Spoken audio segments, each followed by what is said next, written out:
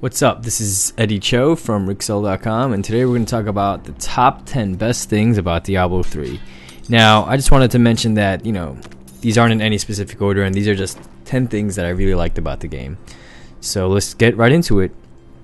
Uh, I want to start off with the banner warp system, and I thought that this was a really good addition to the game just because it allows you to, to jump into the action quicker. You know, all you have to do is click on a flag, and you teleport directly to where your friends are. And this just speeds up the game. There's no like teleporting to town, using waypoints, and then actually running up to them and finding them. I remember playing in the old Diablos, you would actually have to just use the waypoints and then kind of figure out where your friends are. And you'd be like, hey, meet me at the waypoint, and then we would go do battle or whatever. So I think the new banner warp system is pretty cool. You can customize your banner as well.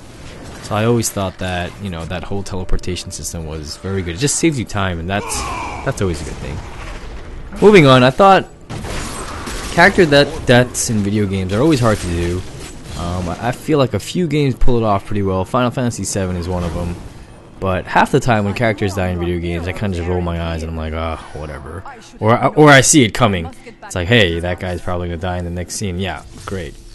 But um, I thought the death of Deckard Cain in Diablo 3 was pretty good because you don't really see it coming. It kind of just happens. You, you actually save his life in the first act, and then towards the end of the act, he ends up dying. So you're kind of like, what the hell? I just saved you. So I thought that that was pretty pretty well done by Blizzard. I didn't expect it, and it was pretty emotional. They had this whole cinematic where they bury, they bury him and stuff. So I thought that was pretty good.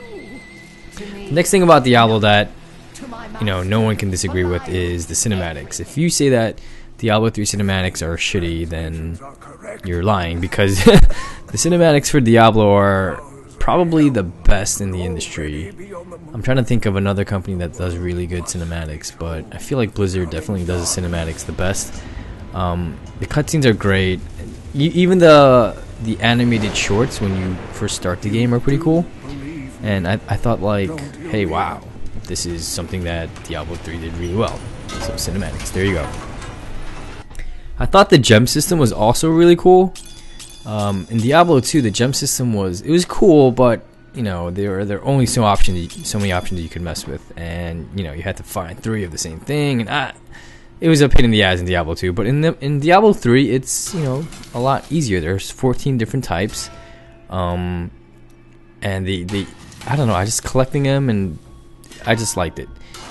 So yeah, the gem system. You can you can merge them together. They act, they all have different kind of characteristics and attributes. So I thought that the gem system was really cool and it definitely added upon what whatever was introduced in Diablo 2.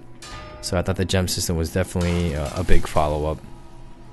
Diablo 3, uh, Blizzard also improved the companion system by adding three different distinct classes.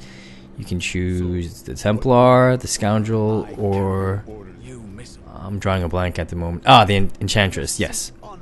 So people are complaining that it wasn't complex enough, that you couldn't really customize them. You know, all in all, I thought that the, the followers were a great addition. You don't want to have another character where you have to min max and whatnot. You know, they they're supposed to just be fun. It's always fun watch have you know having a little buddy watch your back. So I thought the follower system was pretty cool. And yeah, I thought the story behind each of them was interesting, and I thought that the followers were definitely a great addition to Diablo 3. On a more personal note, uh, I also really like the character uh, Covetous Shen.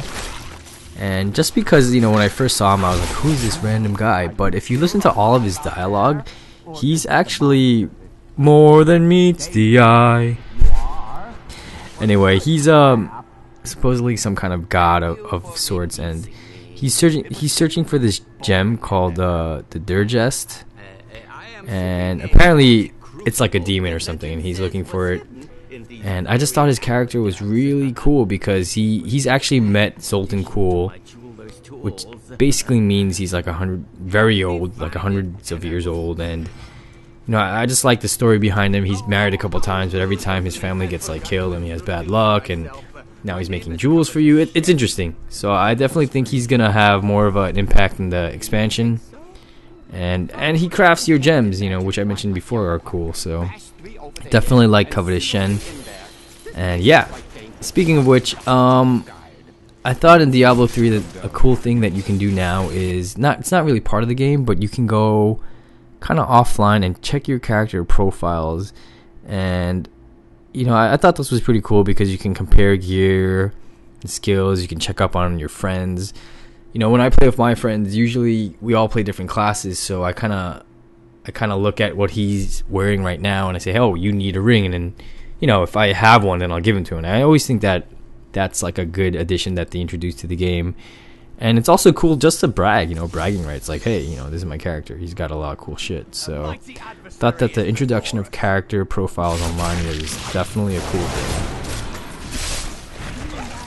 Another thing that Blizzard uh, did really well with Diablo was basically just all the sound effects and the voice acting and the music.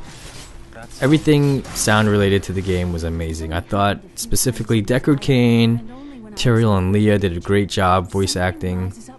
It, it's pretty amazing. If you actually call Blizzard offices, they have this whole like Deckard Cain answering machine. Answering machine. I think it's pretty cool. He's like, "Hello."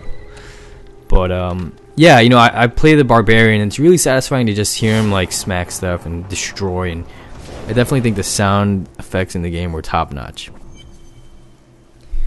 Diablo 3 also does a really great job of making progression feel good and always giving you something to grow upon.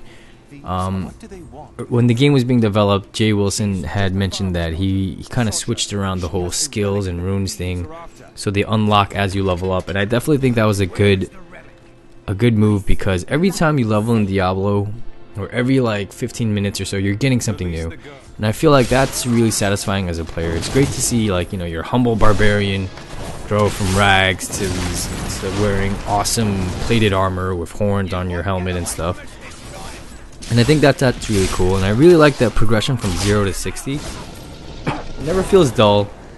And I think that zero, the experience from 0 to 60 is really fun. After 60, however, I feel like the whole Paragon system, eh, it's kind of like the same old same. But at least progressing from 0 to 60 I thought was great.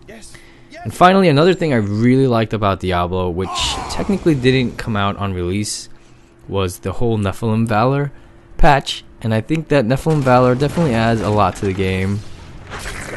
What Nephalem Valor is, is every time you kill, kill an elite pack, you get kind of like a boost to your stats. You get plus 15 gold find and magic find, and I think that's great for people after 60. Like I said with progression, um, it's kind of like a solution for what you can do after 60, and I, I thought that that was a great addition. And that builds upon kind of what Nephalem Valor means. It's Blizzard's attempt to constantly improve the game, constantly give gamers, you know, it's not just a product that you buy and that's that. They're constantly improving it over time with patches and just they listen to their community. And I think that that's something great that Diablo does. And yeah, that was my top 10 list for Diablo 3. And if I if I missed anything, please let me know. Um, I'm sure a lot of people are gonna say, "Hey, your list sucks. Diablo 3 sucks." You know, Diablo 3 does not suck. Uh, it's a good game. If you played it, you'll probably agree. But anyway, you know, what are your favorite things about Diablo? You know, please let us know. Comment below. If you like this video, click like, subscribe, and, you know, stay tuned. We've got a lot of good things coming up in the near future. We do pretty much gaming news every other day, or we try to do gaming news. So, yeah, keep watching and have a great weekend.